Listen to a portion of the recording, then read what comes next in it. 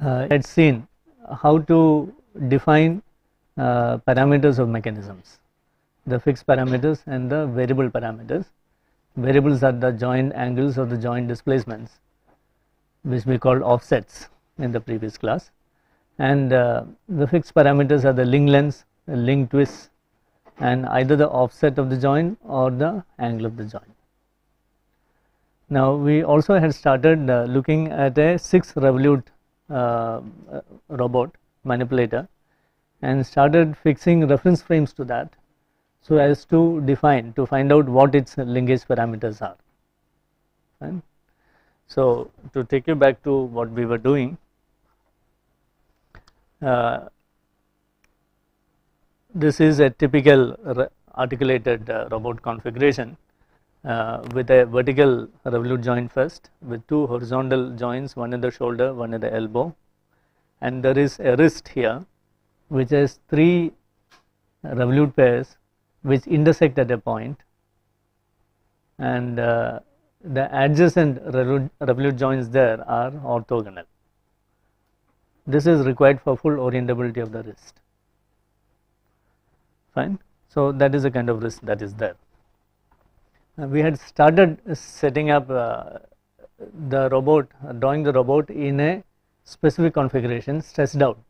So, that the various uh, joint angles turn out to be either 90 or 0 degrees or 180 degrees uh, and in this particular case then the joint axes are aligned along three perpendicular directions. So, that description of the various uh, when I when we draw the reference frames here uh, it will be fairly easy to figure out what the joint parameters are. So, the first joint is the vertical revolute joint. Then at the shoulder you have a horizontal revolute joint.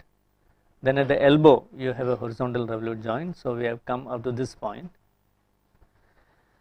Then there is a rotation along the longitudinal direction. That is this revolute joint and then there is a rotate revolute joint which is perpendicular to that and that is this. And then there is the final revolute joint which is perpendicular to this. And in the position we have shown these two are aligned. So, these three form what is called a concurrent wrist concurrency meaning the axes of all these three revolute joints intersect at a point. Which is that point that is somewhere here.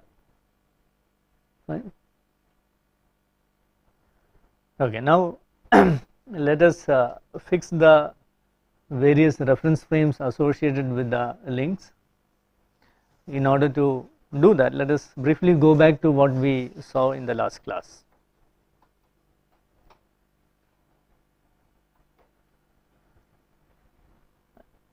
We have joined i, i plus 1 and i plus 2 here. This is link i between joint i and joint i plus 1. The reference frame attached to link i is on the j, j plus 1th joint axis and the link is represented by the common normal between the two joints associated with the link. So, this is that common normal fine and the reference frame is in this fashion extend that common normal the origin of the reference frame on link i is here. So, this is the xi axis zi axis is along the joint it could be in this direction or the opposite direction it does not matter. So, you have xi and zi like that. So, in the second joint of the link on that axis you have the origin of the reference frame of the link fine and the z axis is along the joint and the x axis is perpendicular to the joint right. So, that was the convention that was used and uh, the uh, the way to measure the various uh, linkage parameters have been set up here we will see it later. Let us fix up the reference frames first.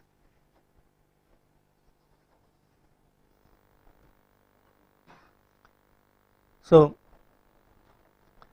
we will consider link 0 to be the base. Link 0 is the base, link 1 is this link, 2, 3 and so on. So, uh, link 0 has reference frame x0, y0, z0 attached to that, right. It has to be, it has to be on, the origin has to be on this joint J1. So, this has origin in that uh, along the axis of that joint. So, Z naught is this? Fine. This is x naught. Either this or this could be x naught. I took this as x naught. So this is y naught. So this is a global reference frame attached to link 0 which is the base how many links does this uh, manipulator have? Is a 6 revolute manipulator. It has 7 links right? The base link onwards. Okay. The second reference frame has to be attached to link 2 fine. Its origin has to be on join 2 so which is joint 2 this is joint 2 right? So I draw this line which represents the axis of joint 2 okay? And uh, we can take the z one direction in any fashion we want to. The way I have taken is this direction. So this is z1 so what about x1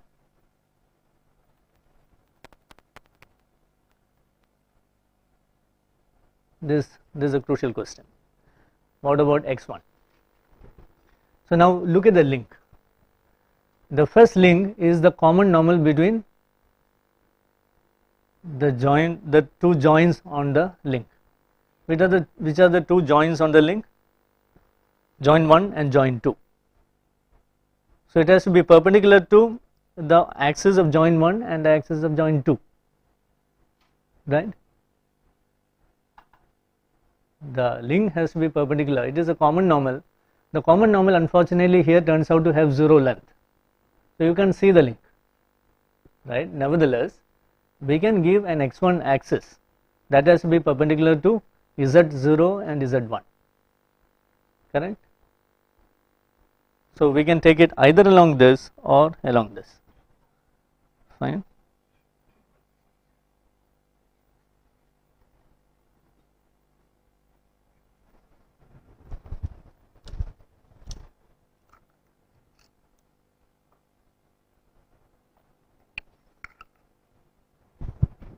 So that is fine. So x1 z1 y1 I am not drawing y1 because it will clutter up the diagram. So x1 is z1 is enough. Now what about link 2? Link 2 is between join 2 and join 3 right. So we have to first see what join 3 is so join 3 is this and join 3 axis can be drawn let us say we take this direction. Now link 3 is a common normal between join 2 and join 3 or the reference frames Z1 and Z2. So this is Z2 right. So I would uh, like you to go back to this particular diagram which we drew in the last class I would not keep bringing it back here. You can look at that when I do the explanation.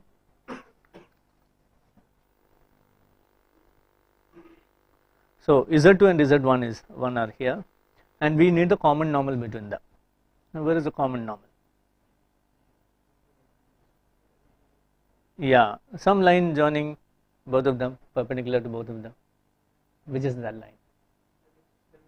the link itself. But what do you mean by the link itself? If I look at it from above, let us look at this from above and let it be in this fashion. I see this revolute joint that post which rotates. So the axis of the joint is like that and I, I am really offsetting this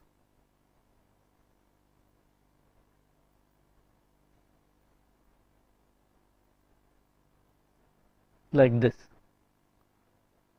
fine. So there is this revolute joint through that. So this will move up and down okay I am looking at it from above. And then comes the next joint and the next link. I am talking about this link now. There is a joint axis there. Fine? So looking at it from above you see these two joint axes like this.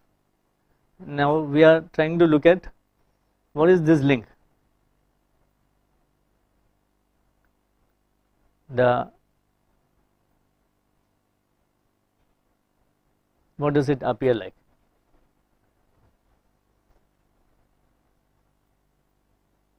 It is a common normal between these two. But the point is that these two axes are parallel. I can put the common normal anywhere I want to. Although some of you said put it at the physical link. Where is the physical link? In the middle of the physical link something which passes through the center mass of the physical link. There were so many possibilities. For kinematics it just does not matter where you put it. There may be some convenience attached to where you put it but for purely kinematic calculations it does not matter. Fine? So let me put it at the as you suggested somewhere in the middle of the link. Fine so somewhere in the middle of the link let me let me assume that in this diagram is this particular. So this is what I chose as the common norm. Okay? I could have chosen this I could have chosen this or any of them.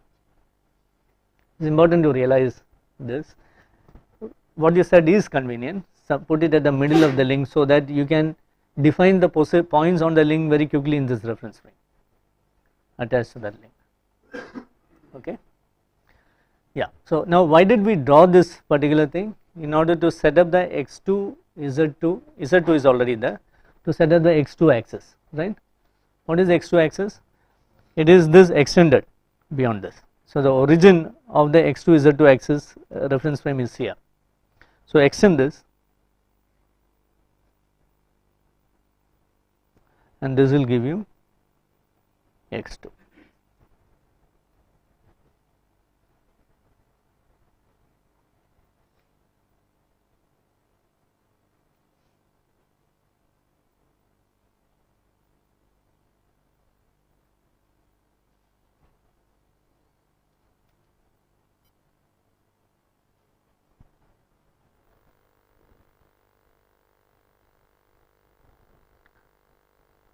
Fine. If you have questions shoot. Fine. Do not hesitate. You have to understand this. And remember that this is a convention. There is nothing sacrosanct about this. You can set up your own convention. But before you do that understand this very clearly. Fine. Okay. Now you have the x2 z2 reference frame of link 2 now for link 3 we need the x3 z3 reference frame. And which is z3 z3 is the axis through joint 4 right? So let me draw that.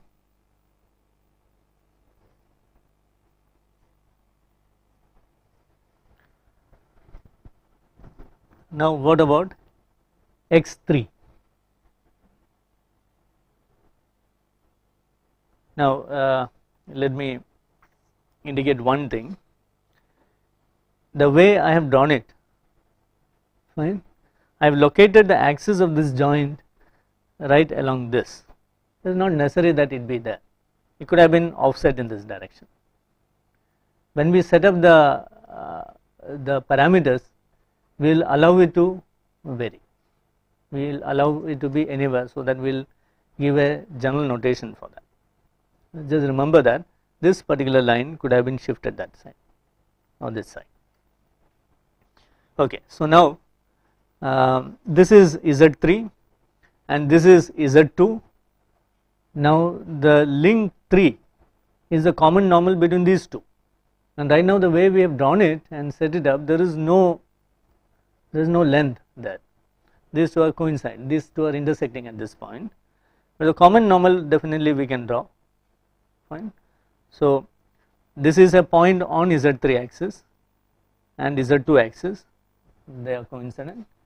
And so x3 could be this.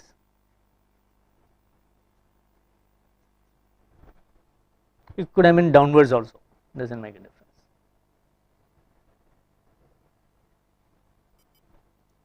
Okay. So, we have Z3 X3 that is reference frame attached to link 3 then through this you have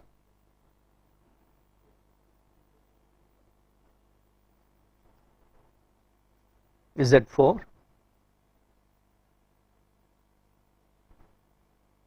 the perpendicular between Z3 and Z4 is X4 fine. That is X4 attached to link 4. So, this is the point of concurrency where the last three axes revolute axes intersect whatever be the angle you give to these joints the last three axes always intersect fine that particular part of the mechanism forms what is called a spherical mechanism. The property of the spherical mechanism is that it is consisting of revolute joints and all the revolute joints intersect at a common point. Such mechanisms are called spherical mechanisms. Okay. So, you have Z4 and Z3 the common normal between them is uh, x4. So, I let us take x4 in this direction.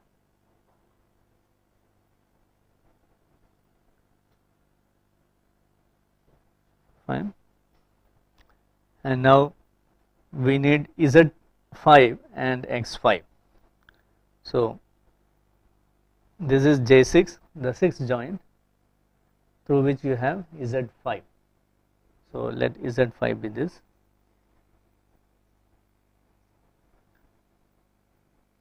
X5 is the common normal between z5 and z4 Z4 is this, Z5 is there, both are coincident, both are intersecting here and I take X5 to be along this.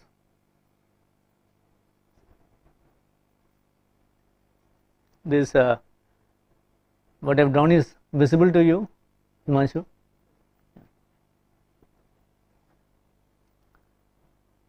Fine. So, we have set up uh, reference frames up to link 5.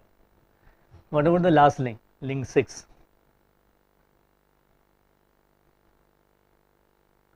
So, on link 6 what the problem is that there is only one revolute joint right. So, we have to take the point a, a reference point at which the origin of the reference frame should be right. So, I take it along this. So, let us extend this take this particular point and what I did was I aligned Z6 along this it is not necessary to do that. And that is one convenient way of doing it. And took x6 perpendicular to that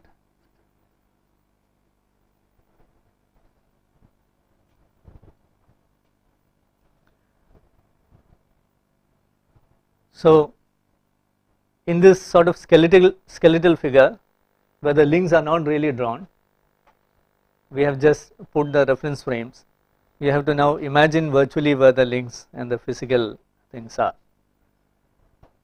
Fine. But now let us set up the parameters.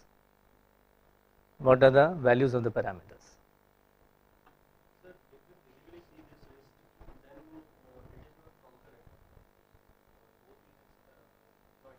Uh, yeah. Uh, no no now, why do you say they do not have the same axis? No, physically I have put them right now in the position you are seeing, they are coincident. The two axes J, uh, Z3 and Z5 are coincident right now, fine. But they will not remain coincident if I rotate this joint.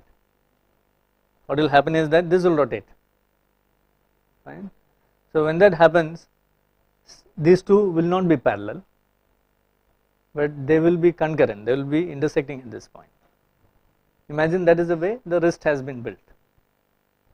So are you saying that they are not uh, coincident or concurrent looking at this figure? Okay so that probably is the way it is drawn. Uh, it may not be. So what you see here what you see here is something like this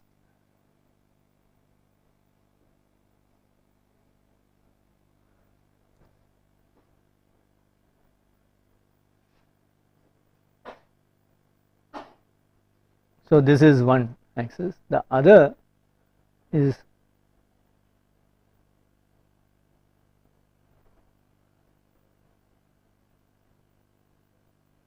is like this fine. so I drawn it at an angle they are supposed to coincide okay. Okay now let us set up the parameters.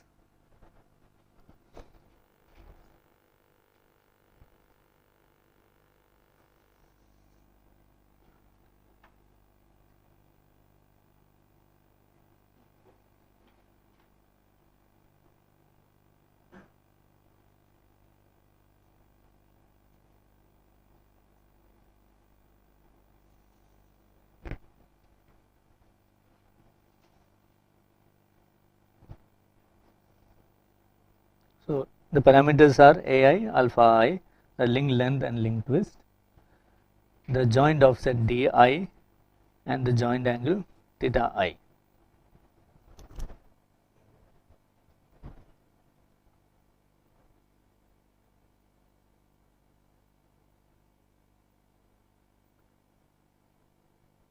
Okay. Let us now look at the link length and link twist for links 1 to 6. Now here uh, the link length and link twist uh, uh, was defined as follows. Uh, AI and alpha i are obtained are what are used to take Z i minus 1 uh, along xi so that it eventually coincides with Zi right ai and alpha i is, is are the uh, translation and rotation you have to give to the zi minus 1 axis to make it coincide with the zi axis by translation and rotation along is xi axis. Okay? So a1 and alpha 1 would be obtained by taking z naught to z1 right? Along x1 axis in this direction. Okay so what is a1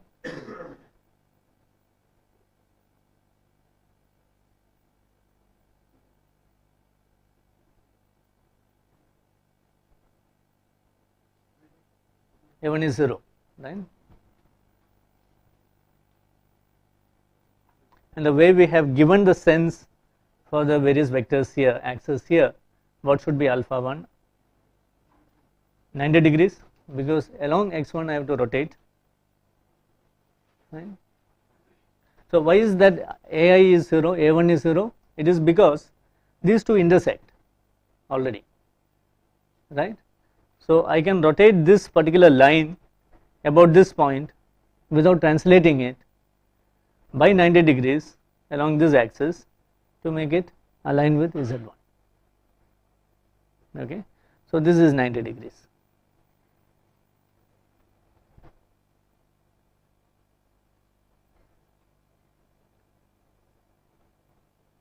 So yeah, AI is a common normal between Z naught and Z1 that is the length of the common normal between. But in order to give the sense to that we imagine that we are bringing z naught into coincidence with z1 by a translation and a rotation right? Since they are intersecting no translation is required to do that so a1 becomes 0 but you need a rotation to align them. So that is 90 degrees. Okay? So that is very clear. So let's proceed like that. Z1 to Z2 A2 is it 0 is not 0 right? It is some value. We will call it simply A2 and we can give any value for A2 that will change the distance between these two. So, let us just also indicate here what A2 is.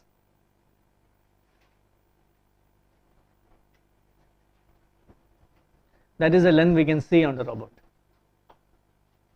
right? the distance between the shoulder and the uh, elbow. And what about uh, alpha 2? They are 0 degrees because they are already aligned.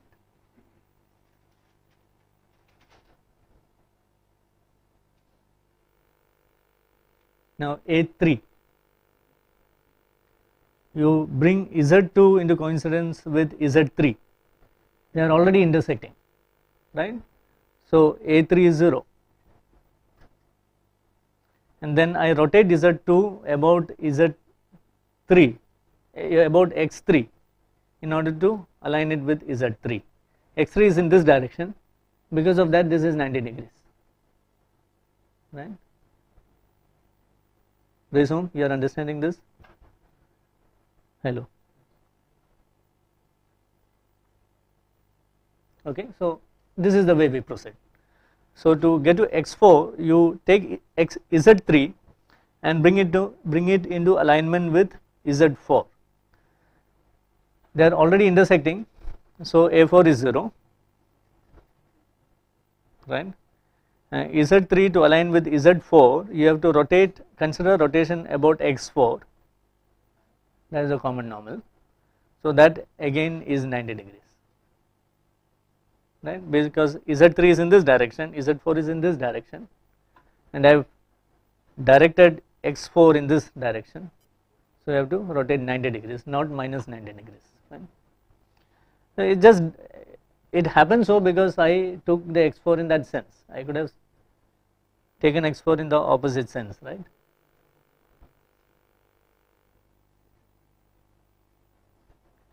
Now a5 and alpha 5 take z4 and make it align with z5 right? They are coincident they are intersecting so this is again 0 and the way I took x5 this is 90 degrees again so all very convenient. Okay. It is not necessary that you do this way but so remember this is very important. I could have taken z any of the z's in the opposite direction number 1 number 2 x's also I could have taken in different directions.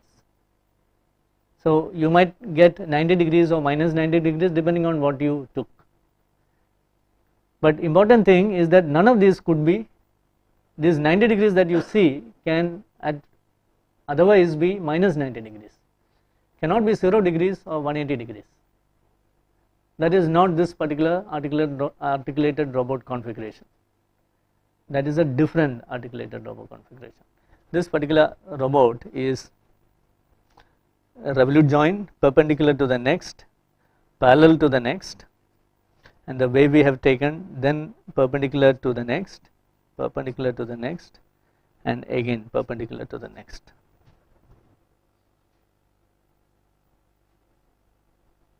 It is this parallel uh, the fact that this is parallel that you see as 0 degrees here. Rest of them are 90 degrees or minus 90 degrees.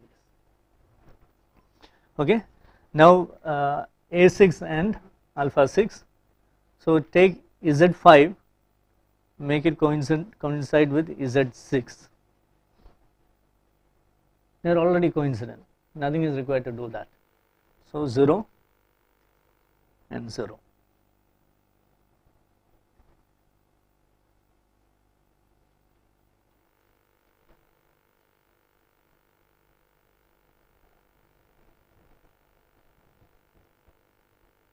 Fine. Now let us look at d i and theta i. d i and theta i are the offsets uh, are the offsets at the joints. So, what is required is d1 and theta 1 is obtained by taking x 0 axis and making it coincide with x1 axis by movement along z0 axis right. So, x0 to x1 along z0 you may have to move it as well as rotate it translate it as well as rotate it. In this particular case you have to only move it translate it. No rotation is required because these are parallel right? So d1 is this. This is joint 1 fine so d1 is this. So we will give it a symbol rather than a number. Any number if we substitute will be fine. Except in some of these cases if you use 0 then you have problems. In this case it is okay. Okay? Physically what do we see here as d1 is this length this particular length from here to here right from here to here is d1 fine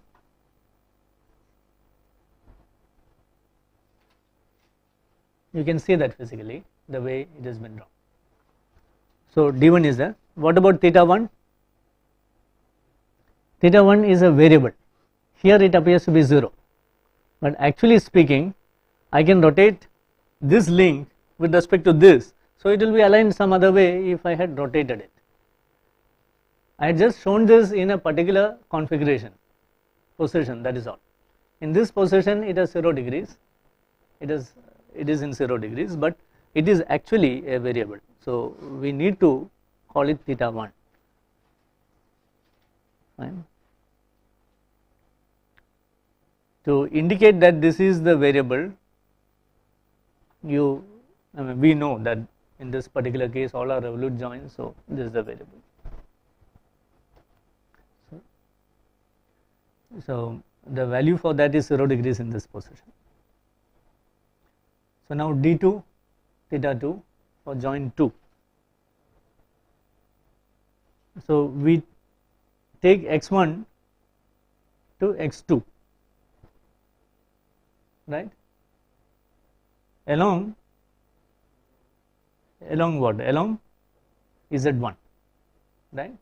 So the way i have put it that is here that will have some negative value right? This is this is the distance. So that is d2 we call it d2 so that we can give any value to that. But here it is this particular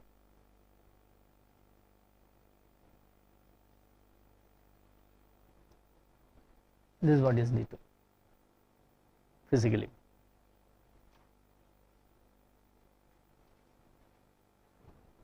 and theta 2 is a variable what is the value in this position 0 right. When will it change from 0? When we rotate this joint. If I rotate this joint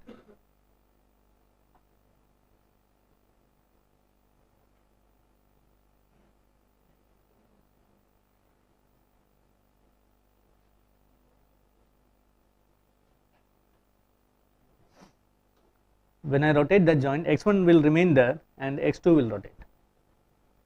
Okay? X1 will remain there. X1 will move when I rotate j1 okay? X2 also would move if I had fixed everything else and move j1 it will rotate in that direction. If I fix this and rotate this x1 will remain there with this rotating. Okay? Okay now d3 theta 3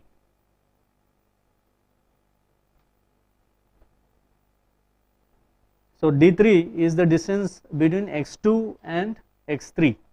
x2 is this and x3 is this right. x3 is this right.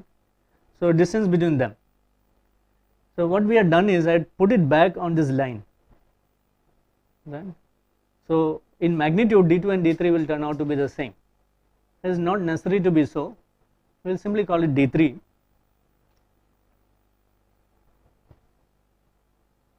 they are fixed values but we can give any values for them that that way we will be changing the dimensions of the robot.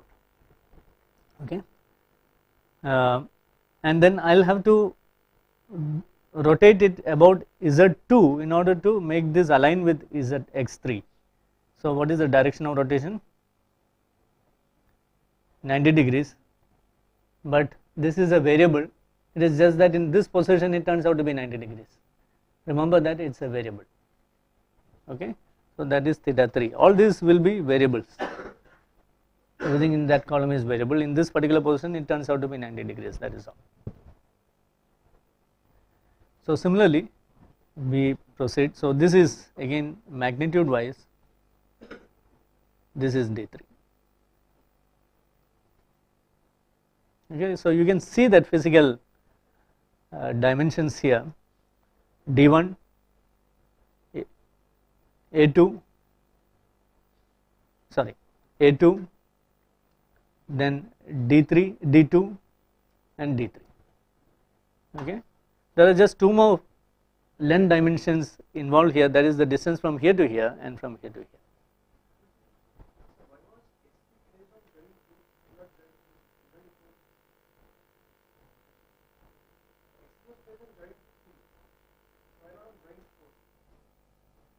X3 uh, is at x3 z3 uh, is a reference frame attached to link 4 sorry link 3 x3 z3 the question was why was x3 placed here? Rather than uh, on joint 4 it is on joint 4 actually. Isn't it? What is joint 4 is this axis. So it is actually on that axis. Okay. So now d4 uh, theta 4 theta 4 anyway is theta 4 d4 what is it? Uh, x3 to x4 right? X3 to x4 okay? So you have to move it by this much along z3 you have to move it by this much. So, that is d4 and so d4 is this distance.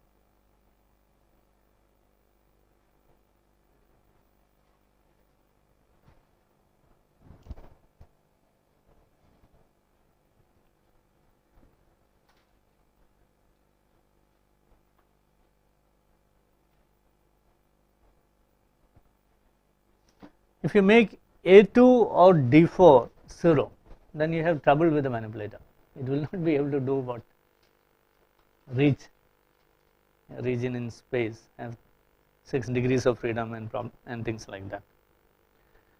Okay, now uh, d5 theta 5 theta 5 is theta 5 this theta 6 d5 you have to take uh, x4 x4 to x5 along z5 z4 right along z4 so they are already coinciding so this is 0 right? The fact that this is 0 is important. Because if this is not 0 you do not have a concurrent wrist and we are and without a concurrent wrist you will see that our inverse kinematics cannot be done easily that we will see very soon. So this is 0 all of you recognize that. So this the final thing is d6 this is some value and what you see as d6 is this particular length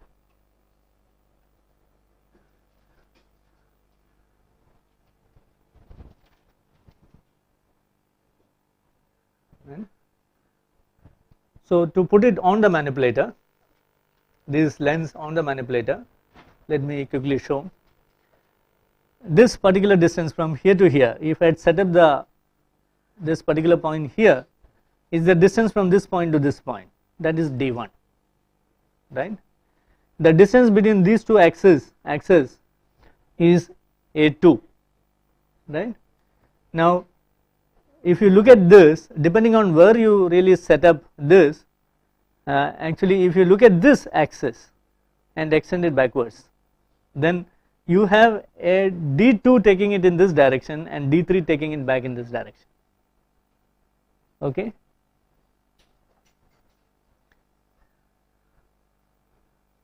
So what is fixed is really look at this axis which is this particular joint 4 axis. Joint force uh, for, for axis with respect to this particular vertical axis that is a crucial thing. D2 and D3 can actually take whatever appropriate values but finally when you come back this particular offset should be there okay. Uh, so this is D2 this is D3 and then this particular distance which again is something you see on the mechanism from here to the concurrent wrist is this particular length d4 and from the concurrent wrist to where you put the reference point on the end effector. What is the reference point on the end effector? It is a special point you define for determining the workspace of the mechanism.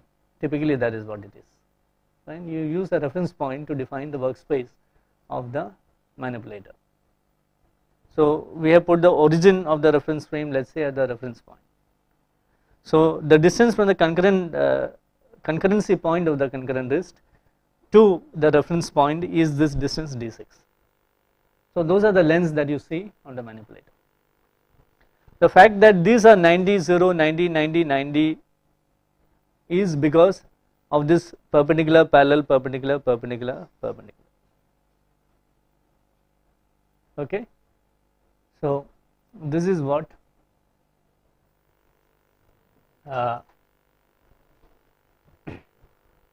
this is these are the parameters joined angles and fixed parameters of the revolute jointed manipulator okay now let us do forward kinematics Forward kinematics now appears to be fairly trivial to do, turns out to be very trivial to do.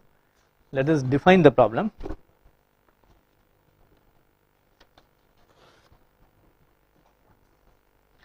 Now we can define the problem of forward kinematics very in, in very simple terms.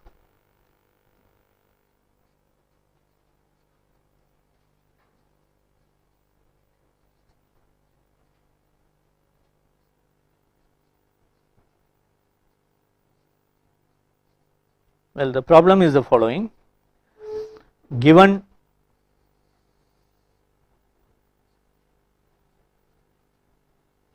what are given?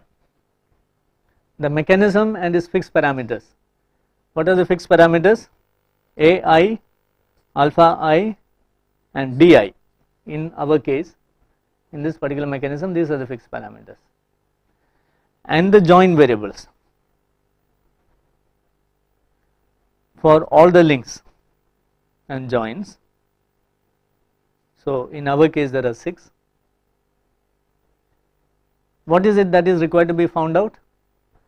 The position and orientation of every link, right? What gives the, how did we define position and orientation of a link?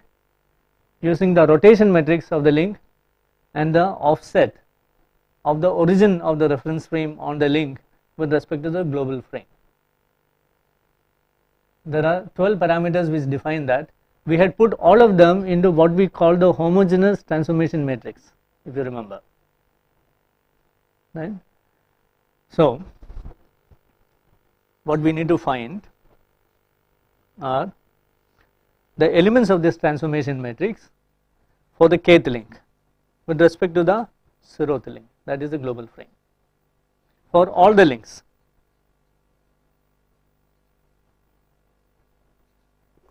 This is what is to be determined.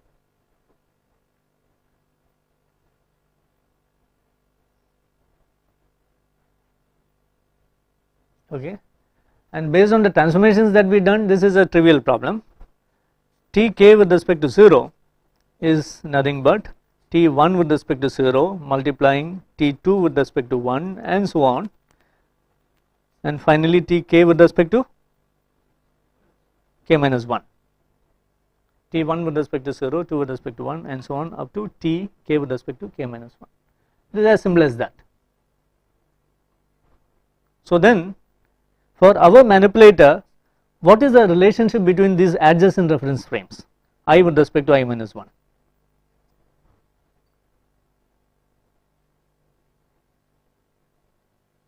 i with respect to i minus 1 so look at adjacent reference frames. We can set up a general equation for that general form for the elements of that matrix because we had used certain convention for setting up this fine. If we do that so what is to be done is this. Now what is left for us is to determine this. The position and orientation of a reference frame in the previous link's reference frame. Okay?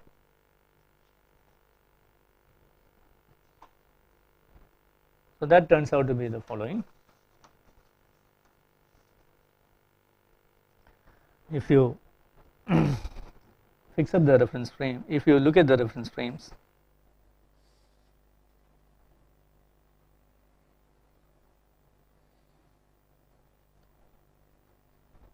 so this this x i minus 1 uh, y i minus 1 and z i minus 1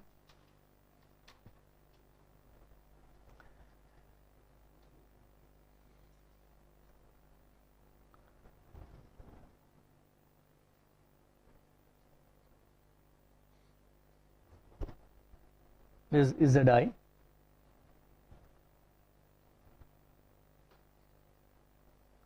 xi and yi okay? And the way we have been defining these parameters this is joint i.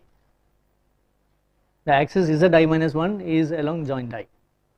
And di is this distance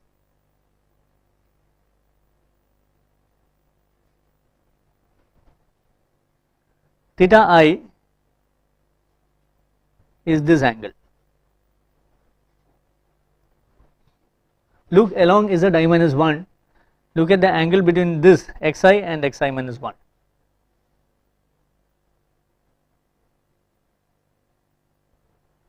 that is theta i okay?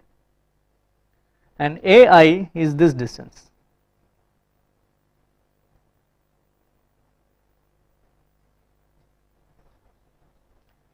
the distance between zi and zi minus 1 the common normal between them that is this. And alpha i is the angle between zi and zi minus 1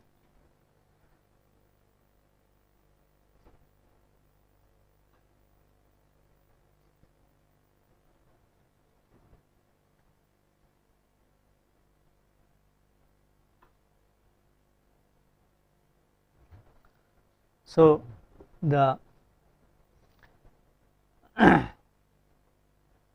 we can make the, the determination of what we need to get is T i with respect to i minus 1.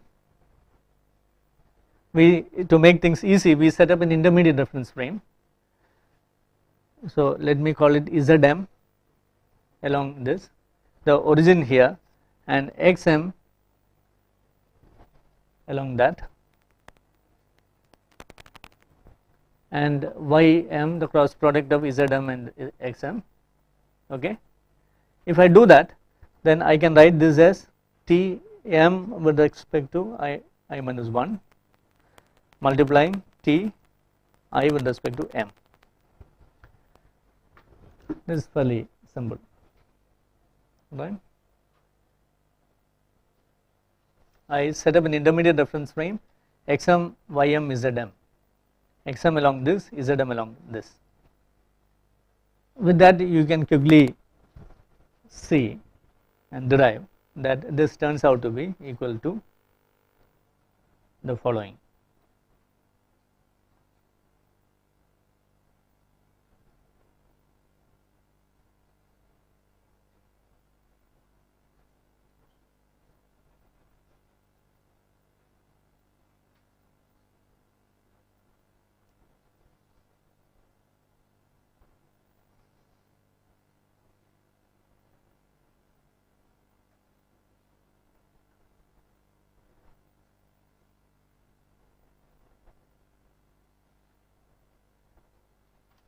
This is a 4 by 4 homogeneous transformation matrix.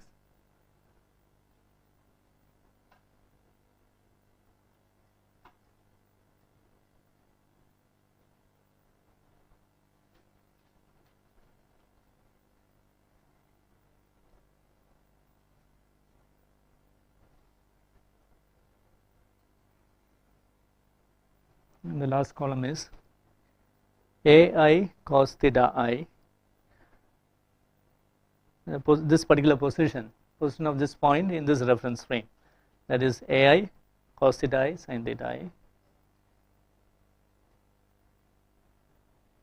Then along z axis it is di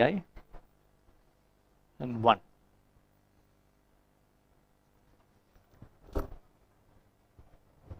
this is something you can easily derive fine just multiply set up these two matrices and multiply or even without that it is not all that difficult to figure this out. Remember that this these three uh, the vectors formed by these three numbers is the xi direction in this global reference frame. And this is the yi direction and this is the zi direction.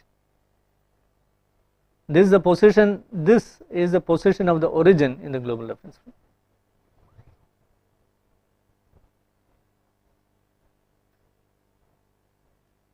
So with that doing the forward kinematics of uh, the mechanism we saw is very simple. Write all the transformation matrices and multiply them in a chain. okay yeah ai cos theta i ai sin theta i and di well without asking me you could have just taken the position of this in the reference frame. Okay so I am not going to substitute. We can we can substitute this. Remember that some of the many of the AIs are zeros. So those particular matrices can be written for any i to i minus 1. Many of these alphas are 90s. So the corresponding cos alpha i will be 0, sin alpha i will be 1. All those simplifications will take place and you can write those matrices very easily. Fine. So just uh, before we leave just one question.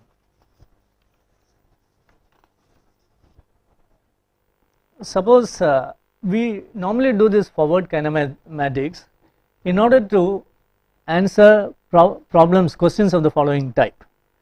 When the mechanism moves, would some part of a link hit an obstacle? Right?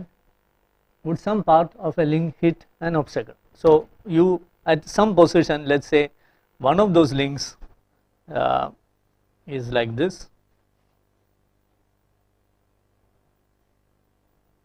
and the reference frame attached to this is let us assume something like this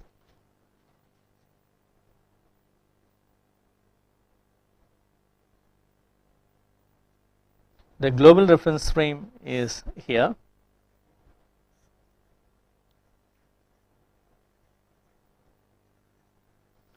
and there is some obstacle out here.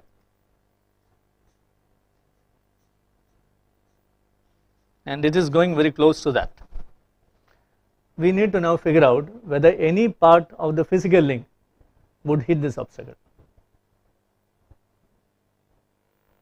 How do you check that?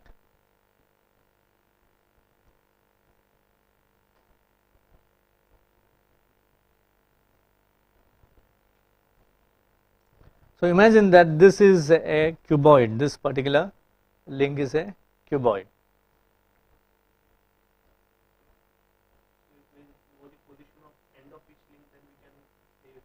Yeah, this is not very easy actually. So I'll, for example, what you said, the, the suggestion there was, look at the end of the links. Let's say the corner points. Suppose it has corner points and this also is a cuboid let us assume.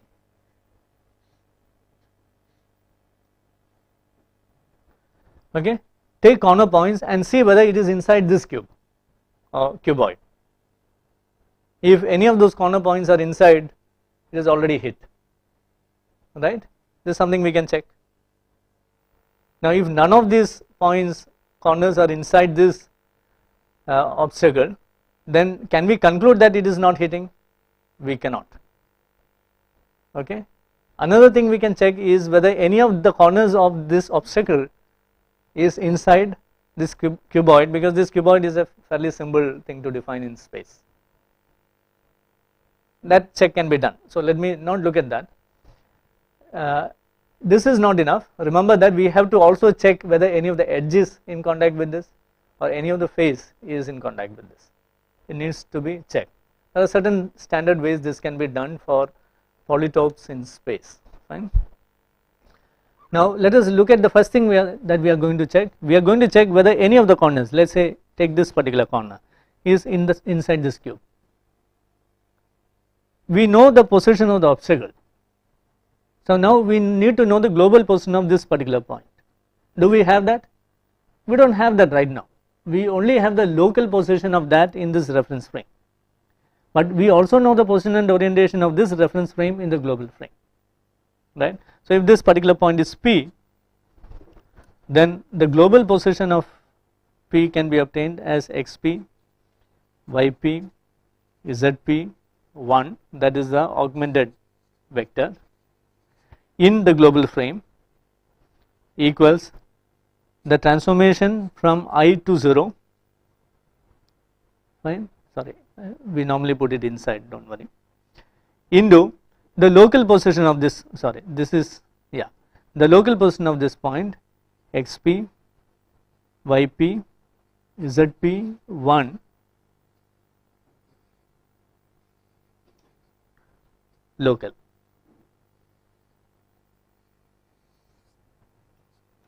Fine. This particular position point, points position in the local frame is this. This is the augmented matrix 4 by 1 matrix. The local position. Pre multiplied by the homogeneous transformation matrix which which takes points in 1 to 0